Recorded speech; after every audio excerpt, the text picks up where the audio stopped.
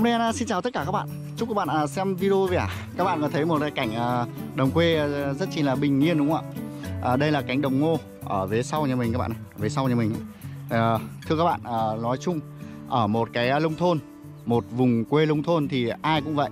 Ai cũng có tuổi thơ ở một cái vùng quê nào đó. Có thể là thành phố có một cái kiểu tuổi thơ của thành phố Mà nông thôn có một cái kiểu tuổi thơ của nông thôn. À, Mình có một cái ký ức rất gì là hay các bạn chắc là đi đâu rồi về đâu cũng sẽ nhớ một cái ký ức nào đó thôi. Bởi vì là cái thời tiết của tháng à, 8, tháng 9 này, là nó là mùa thu của miền Bắc các bạn. Và mùa hanh heo khô ấy, thì là buổi sáng ngày ra thì trời bắt đầu chỉ là nắng, rất chi là nắng như này các bạn này. Trời nắng lắm. Thế nhưng mà nó lại có một chút hơi hơi của một chút của à, gió Bắc Thì người ta gọi là gió hanh Hanh khô đấy các bạn. Thì cho nên là mình có một cái uh, Trong cái tiềm thức của mình có một cái kỷ niệm rất chi là hay ở cái tuổi thơ về cái mùa này thì là mùa trồng ngô các bạn. Về mùa này là mùa trồng ngô này. Đấy, thế nên mỗi lần ờ, nhớ đến nhìn đến cái ngô thì lại nhớ đến cái mùa thu. À, cảm giác là à, buổi tối chiều tối thì xe xe lạnh ban ngày thì lại à, trời lắng lắng. Ở ngoài thì lắng chui vào trong nhà thì nó lại hơi lạnh. Thì à, mình à, đi ra ngoài cánh đồng này chia sẻ với các bạn một chút xíu đó là cái tuổi thơ của mình và cái nông thôn của mình. Nếu như bạn nào đã từng ở nông thôn bạn nào đã từng có những cái tuổi thơ chăn trâu chăn bò cắt cỏ thì các bạn cũng sẽ biết thôi. À, đây là thuê máy cày các bạn thuê máy cày người ta à, lên luống rất là đẹp đấy ngày xưa thì à, dùng bằng bò cơ bây giờ rồi toàn dùng bằng máy hết rồi. Đây mình ra xem các bạn là cảnh trồng ngô. Cảnh trồng ngô. Nếu như các bạn nào cảm thấy cái video này hay và uh, xả chết trong cuộc sống trong công việc thì các bạn có thể là đăng ký ủng hộ kênh uh, cho long đen và tất cả những cái con vật của long đen. Hello! Chào các bu nhá. Ghê quá không thấy bu nào nói gì chắc mải quá đây không quay phim chụp ảnh à? Nghiêm cấm quay phim chụp ảnh à? Nhà mợ năm nay trồng nhiều ngô thế nhỉ? Ghê quá nhỉ? Thế này thì uh, tha hồ ăn rồi. Nếu mà cháu mà có đói kém thì vào vay mấy bữa ngô nhá. Mò hết rồi à? Ôi, Chắc hôm nay mượn đâu được ờ, buổi bò À? à quên mượn đâu được người và làm đông thế? Đây các bạn đây là Đây là người đang mổ lô này. Đang mổ lô để cha phân này rồi sau rồi cha ngô này. Nói chung là tỉ mỉ lắm. Phỏng vấn uh, người đẹp tí. Thế à? Quân nhà quế nghịch xuống à? Phỏng vấn uh, người đẹp à? con mệt không người đẹp đây? Dạ, mệt không. Mệt đứt hơi nơi rồi đứt à? Đứt đoạn nào? Anh lối cho đoạn đấy. Hô hấp nhân tạo. Mới phỏng vấn một đoạn thôi mà lại không thả được à, đó là mình uh, chia sẻ với các bạn một chút cảnh uh, nông thôn của mình thôi à, về xa xa kia các bạn là dòng sông cầu đấy các bạn. Kia là sông cầu kìa. Ở bên kia là sóc sơn hà nội à, cũng à, mình được gọi là lịch sự hơn mình được gọi là giáp hà nội rồi đấy. Đấy. Các bạn có thể nhìn thấy chưa? Kia người ta đang à, cào à, hến kìa các bạn này cào hến là sông ấy. Còn à, cái tiếng mà đang rầm rầm đi qua là cái tiếng thuyền truyền tải các bạn. Người ta vận chuyển xi măng này cát sỏi nói chung là từ ở phía trên thái nguyên kia đi về. Đấy thì mình ờ, sơ qua cái cái cái ờ, cái địa danh của mình một chút xíu để cho các bạn tưởng tượng về quê hương của mình. Ờ, còn đây là đường dây điện uh, 500 kV ở Bắc Nam các bạn. Đấy thưa các bạn uh, thấy chưa? Nếu như bạn nào mà chưa có sông nước vùng quê không có sông nước các bạn có thể thấy rất chỉ là đẹp đúng không? Còn thì tuổi thơ của mình thì nhìn suốt ngày cơ. Thôi chia tay uh, các bu làm. Mình về mình làm tiếp cái hòn non bộ của mình đây các bạn không thì tình hình là không có xong được à, chào các bu nhá. Chào các ờ, người đẹp nhá. Ở lại làm ăn ờ, tốt nhá. Chưa nắng liệu biết đường về nhá. Nắng không biết đường về là nguy hiểm đấy.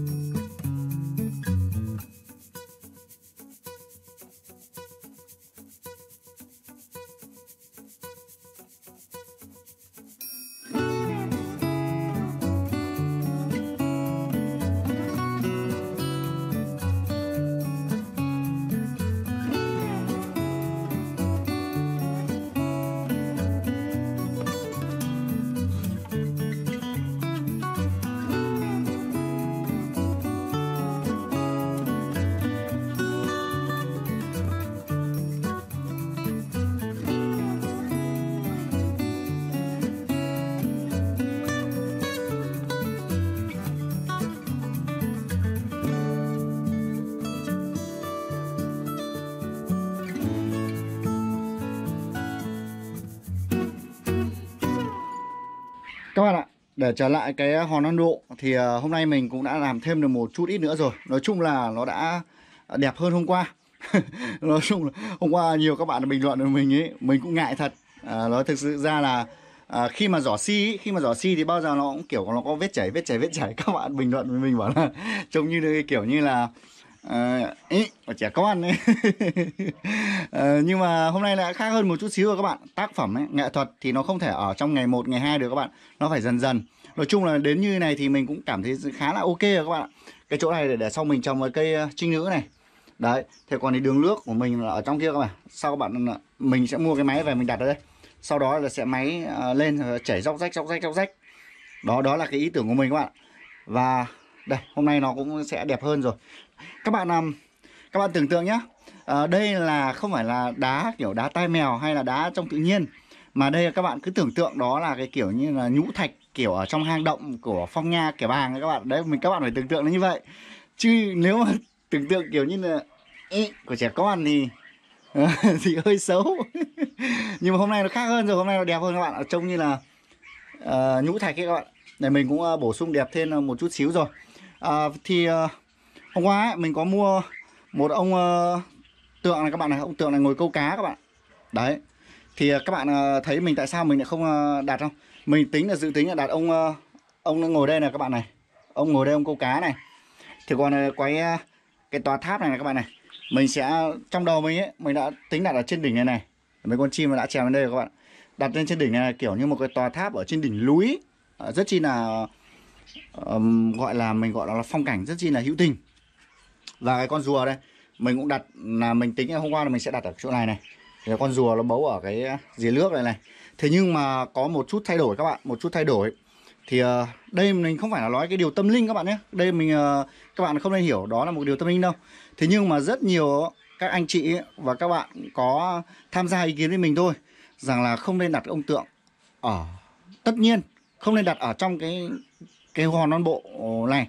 Vì sao lại như vậy thì mình sẽ giải thích cho các bạn là cái hòn non bộ này thì nó lại nằm ở trong một cái à, chuồng chim các bạn. Mình ờ, có thể các bạn gọi đó là chuồng chim được mà mình gọi lịch sự theo kiểu tiếng tây thì gọi là gọi là avi thì dù sao chăng nữa thì nếu hòn non bộ này nó ở bên ngoài thì ờ, đặt nó vào thì nó rất chi là đẹp. Nó mang một cái bức tranh phong cảnh à, hữu tình.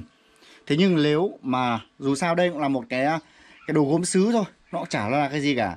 Thế nhưng mà nó sẽ có một cái phản cảm bởi vì là đây là um, gốm sứ nhưng người ta làm hình một cái tòa tháp các bạn. Tòa tháp này nó thường là ở chùa đình đấy. Nhưng mà nếu mà cái hòn non bộ này nó nằm ở một cái ngoài trời thì là nếu đặt trên này các bạn thấy có rất đẹp đúng không? Rất chỉ là đẹp. Đó. Thì cái ờ, ông tượng này cũng vậy. Cũng làm ờ, đồ gốm sứ thôi. Thế nhưng người ta đúc lên hình ông tượng có dâu có ria à, ờ, tức là một ông. Chứ người ta không thể gọi là cái thằng ông tượng được hoặc là cái hòn đất được đúng không? Các bạn có công nhận với mình không các bạn không thể gọi đây là hòn đất được mặc dù là làm ra từ gốm sứ. Và người ta vẽ dâu như này thì mình phải gọi là ông tượng chứ không không thể gọi là uh, thằng tượng hay là cái gì đó. Đó cho nên đó là một cái quan điểm của mình rất là lịch sự và rất nhiều các anh chị. Và các bạn cũng đóng góp cho mình ý kiến là không nên để ở trong này bởi vì là dù sao nó là khu chuồng trại. Không may uh, ông ấy ngồi đây chẳng hạn ví dụ mình đặt trong vị trí ông ngồi đây mà con chim không may nó lại ị vào hoặc chẳng hạn như thế nó khi mình à, đưa lên một cảnh quay nó rất chi là phản cảm. Bởi vì sao? Nó có một cái phản cảm ở góc độ gọi là mất mỹ quan các bạn hiểu không à, ờ, thì thôi mình ờ, để cái ông tượng này để khi nào mình làm bể cá coi thì mình sẽ để vào. Và cái tòa tháp này mình cũng để vào. Đó là cái, cái ý kiến riêng của mình là như vậy. Thì còn và rất nhiều các anh chị cũng đóng góp cho mình thêm cái ý kiến như vậy thì mình cũng uh, uh, xin ghi nhận cái ý kiến đó và cũng cảm thấy đó có cũng là một cái uh, lý do rất chi là hay. Đó là cái văn hóa của người Việt mình là như vậy đã là uh, gọi ông tức là ý là gọi ông rồi thì chúng ta không nên ờ, đặt vào những chỗ nó bẩn thỉu. Ví dụ như là cái cái hòn non bộ này ở ngoài trời không có chim ờ, chóc nó y bậy thì rất chỉ là đẹp. Nhưng mà ở trong một cái chuồng chim một cái AV như này thì chim thì mình không thể tránh được và cả tòa tháp này cũng vậy. Thì các bạn là thông cảm cho mình. Và mình đã bố trí thêm một chút xíu đó là tức là thay đổi 360 độ luôn các bạn. Thì là cái ngôi nhà này mình đã mang để ở đây thì nó mang một cái hình thức đó là có một ngôi nhà ở dưới chân núi các bạn thấy chưa? Một ngôi nhà ở dưới chân núi ở hướng mặt ra hồ. Thì có một con rùa ở dưới này. Thì khi mà cái, mình đổ nước thì mực nước của nó là bằng đây các bạn. Mực nước là bằng đây này. Đấy thì là cái con rùa nó nổi lên trên một mu đá ở trên một ờ, cái bể nước rất chi là đẹp. Đó là một cái cái cái mình gọi là cái uh, cái tầm nhìn tức là gọi là cái tầm nhìn và cái mỹ quan trong mắt mình là, là tưởng tượng là như vậy. Thì tất nhiên thì ờ, khi mà đã một là cái tác phẩm hoặc là một cái ờ, gì đó thì ờ, nói chung là mỗi người có một cái ánh mắt nó như một cái món ăn tinh thần các bạn ạ.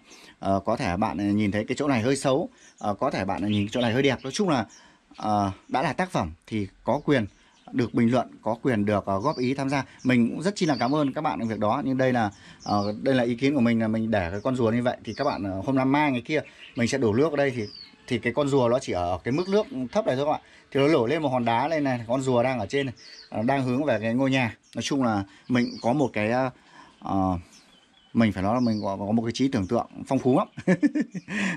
Dù là con gì hay là gì thế thì đều có hướng về về núi hướng về nhà. Đó là cái rồi uh, chia tay với cái tác phẩm uh, uh, hòn non bộ của mình là như này. Thì bây giờ mình sẽ đi mua đi mua bóng điện các bạn. Mình sẽ đi mua bóng điện thì à, mình đã chờ dây điện ở đây rồi. Mình à, tính là sẽ mua cái bóng à, bóng ngoài trời ấy thì mình đấu vào đây xong mình vùi xuống để hở mỗi cái mặt lên thôi. Nhưng cơ bản là xem người ta có, có loại bóng theo cái cái mong muốn của mình thích không đã các bạn ạ. Để mình đấu bóng điện thì các bạn cùng chờ đợi với mình nhé các bạn nhé. Cuộc đời không như mơ các bạn ạ. Đúng là nó không theo quân tính thì mình phải hại láo thêm một chút xíu rồi. Mình muốn mua cái bóng bóng led thì nhưng mà nó thuộc diện là nó kiểu vùi được xuống dưới đất ấy. À, khi mà vùi xuống đất thì tất nhiên các đầu mạch là phải kín đáo cẩn thận rồi. Thế nhưng mà người ta không có các bạn ạ. Có một loại à, có nhưng mà tận là gần 500 nghìn một cái cơ. Mặc răng lắm. Mặc răng thế sau thì đầu tư qua AV chết chết chết tiền. Thôi thì mình à, đành hạ lão một chút xíu vậy. Thì mình sẽ có một cái kiểu của riêng mình. Các bạn thử xem mình à, cái chế kiểu chế của mình xem nó sẽ như thế nào nhé còn bây giờ mình sẽ vào AV mình đấu điện đã. Và sau sẽ uh, tùy theo tình thế. Và còn mình nghĩ thì chắc là nó sẽ không ảnh hưởng gì đâu. Mình chẳng qua mình mất thời gian một chút xíu thôi. Nhờ, chính vì điều đó cũng có khả năng là mình lại vận động thêm được cái bộ não của mình nó hoạt động nó căng căng căng lên một chút xíu. Nói về đồ các bạn nói về đồ thì ờ, nói về đồ điện này mình cũng ờ, vọc vạch được một chút xíu các bạn Ờ, trong nhà đồ đạc về đồ điện này thì lúc nào nó cũng uh, sẵn có. Khi mà nhìn đến cái này thì các bạn đã tưởng tượng được ra điều gì chưa? Rồi chắc là nhìn đến cái này thì là các bạn sẽ tưởng tượng được ra. À, thôi bây giờ thì mình tiến hành đấu điện đây. À, không thì sau lại muộn mất rồi bởi vì là cũng uh, sắp tối mất rồi. Còn thì uh, các bạn nào mà biết đằng đấu điện thì các bạn là đấu nhé. Còn nếu các bạn uh, không uh, biết đằng đấu thì các bạn đừng học theo đâu nhé bởi vì là điện đóm này nó không chừa một ai đâu.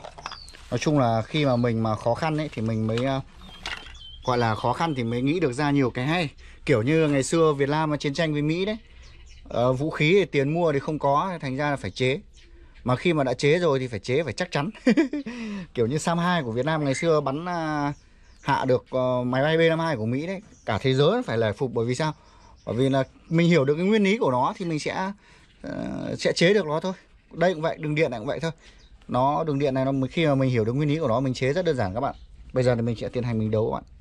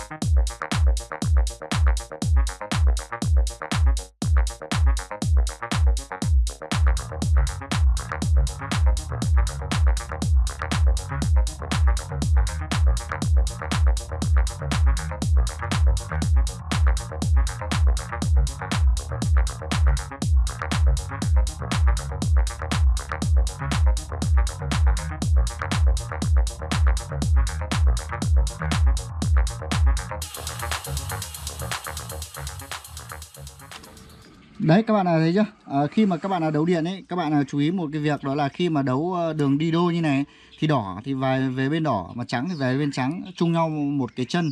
Chúng ta đừng ờ, đấu ngược nhé Đấu ngược sau đó lỗi bụp một phát đấy. À, Các bạn thấy chưa? Đây mình đã bắt đầu à, Có thể là vạch ra một đường Các bạn đã nhìn thấy rồi. Đây là mình sẽ xoáy cái cái chai này vào. Đấy. Sau đó là mình tiếp tục mình xoáy cái đuôi này vào các bạn. Xoáy cái đuôi này lên. Như này là quá an toàn rồi sau đó là mình sẽ tiến hành à, đổ bê tông vào các bạn. Riêng về nói về điện điện thì uh, uh, có bê tông vào nó sẽ không ờ, không không không không no vấn đề gì đâu. Đấy các bạn thấy chưa? Đấy. Sau khi mà chúng ta cho vào như này và chúng ta đổ bê tông vào uh, cuốn uh, cuốn dây uh, vào đây cuốn uh, băng dính đen vào đây thì là quá ok bởi vì là khi đổ bê tông vào đây ấy, thì mình sẽ đổ như này các bạn. Đây nó sẽ đổ cao như này này thì ờ, sẽ đổ đầy vào thì nước nó sẽ không còn động ở đây. Sau khi mà mình trôn xuống ấy sau khi mà mình trôn xuống ấy mà bê tông nó chết rồi mình trôn xuống thì mình sẽ dùng một cái chụp. Cái này thì sau này uh, đến khi chết bê tông thì mình sẽ chia sẻ cho các bạn.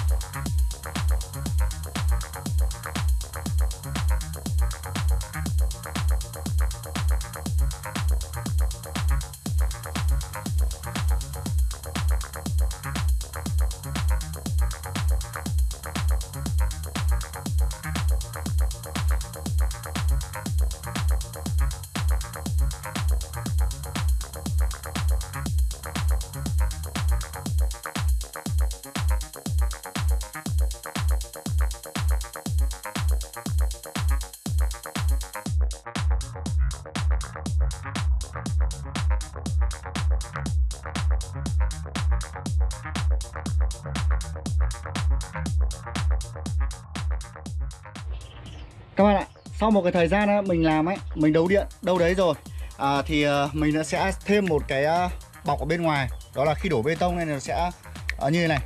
À, nói chung là nói về điện này thì mình cũng rất chi là an toàn các bạn rất chi là an toàn luôn.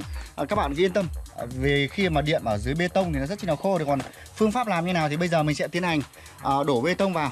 Và sau đó là sử dụng những cái này úp lên các bạn này. Nói chung là bây giờ thì mình nói thì các bạn sẽ thấy rất chi là khó thì bây giờ mình sẽ à, làm cho các bạn rồi các bạn ờ, sẽ hiểu cái ý của mình thôi.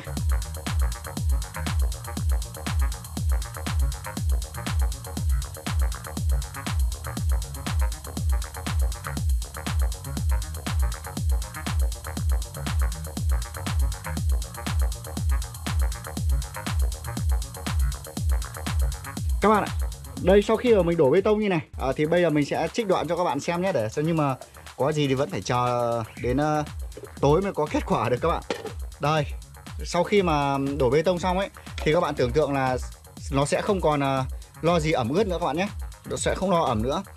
Và mình sẽ không thử điện ngay, bởi vì thử điện ngay bây giờ, hiện tại bây giờ thì nó đang ướt thật. Nhưng mà bây giờ mình sẽ chụp một cái bóng lên như này, chụp lên như này các bạn này. Đấy. Nước sẽ không bao giờ vào các bạn nhé. Các bạn trước khi nhìn à, mình à, đổ bê tông thì mình đã làm cho nước nó chảy ra ngoài rồi. Mọi cái nước nó sẽ chảy ra ngoài. Đấy. đấy, sau khi mà mà xong thì mình úp lên như này. Nó khô rồi thì nó sẽ thành rãnh thôi các bạn. Chắc chắn là nó sẽ khô, nó thành rãnh rồi. Thì mọi ờ, độ ẩm không còn ở trong này nữa. Và nó sẽ, ví dụ như trời mưa ấy, nó sẽ, nước nó sẽ, khi nó bê tông nó đã chết rồi thì nó sẽ chảy chảy xuống chảy xuống. Đấy.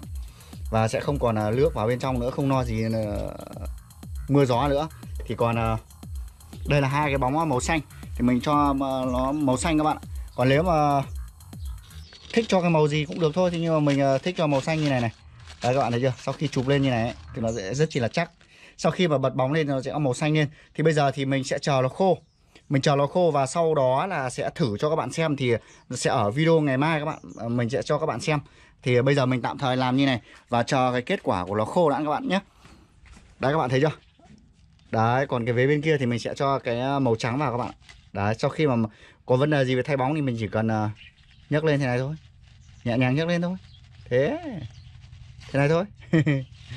Đấy cơ bản là nó là đơn giản như vậy thôi. Nói chung là mình vất vả một chút xíu thì thì sẽ ok thôi. Bây giờ mình sẽ đi uh, rửa chân rửa tay và chia sẻ với các bạn uh, cái mấy con cá mấy con cá bảy màu của mình chết vất vả quá các bạn ạ. Các bạn ạ chia tay với những cái cái đồ điện mà mình à, đang chế ra. Nói chung là như các bạn đã thấy đấy mà mình đã bảo rồi à, khó khăn thì mới phải chế còn nếu mà có tiền thì mua luôn cái bóng cái bóng ngoài trời về thì ok luôn các bạn. Thì à, nói về cái vấn đề mấy con cá bảy màu này thì hôm qua các bạn có đóng góp ý kiến với mình rằng là cái con cá ngựa này này thì nó là ăn cá con. Nếu mà cá bảy màu đẻ hoặc là cá à, bình tích mà nó đẻ thì con chính con cá ngựa này nó lại là ăn con cá con. Thì uh, rút cái kinh nghiệm đó và các bạn cũng đóng góp cho mình những cái ý kiến thì mình đã sáng nay mình đã đỡ đẻ cái con cá mà bụng to to ấy mình đã mang sang với bên kia để mình cho các bạn xem nhé.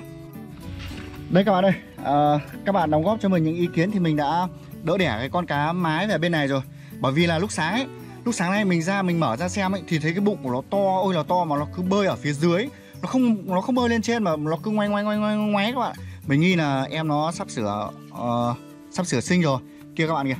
Đấy mình quay gần cho các bạn xem thì ờ, mình cũng đỡ đẻ nó sang bên này. Và mình rút kinh nghiệm mà nếu mà con nào bụng mà đang có chửa to mà như cái con này ấy, là mình sẽ mang về bên ờ, này mình nuôi. Thì khi nó sinh ở bên này thì nó sẽ an toàn hơn. Khi sinh xong thì mình sẽ chuyển về bên kia. Ờ, đúng là một anh nuôi rất chi là là xịn sò à. Thế nhưng mà chỉ tội mỗi cái là cái kinh nghiệm thì vẫn còn hơi hơi lon và xanh. À, thôi thì qua cái video mình cũng đã chia sẻ với các bạn là những cái niềm vui à, những cái um, kinh nghiệm được các bạn đóng góp những ý kiến. Thì rất mong cái video này cũng được các bạn à, đón nhận ý kiến và đóng góp thêm cho mình những ý kiến được ờ, xịn xó hơn để mình ờ, có thêm được những cái kinh nghiệm này có thêm được những cái công chăm sóc và những cái chú cá và những chú chim. Một lần nữa cho mình ờ, cảm ơn tới tất cả các bạn đã đồng hành cùng với mình đóng góp cho mình những ý kiến và các bạn đã đăng ký ủng hộ kênh. Và bạn nào mà chưa đăng ký ủng hộ kênh thì rất mong các bạn có thể là đăng ký ủng hộ cho Long Đen và tất cả những cái con vật của mình. À, xin chúc các bạn là luôn vui vẻ trong cuộc sống và thành công trong mọi à, lĩnh vực. À, hẹn các bạn ở những video tiếp theo.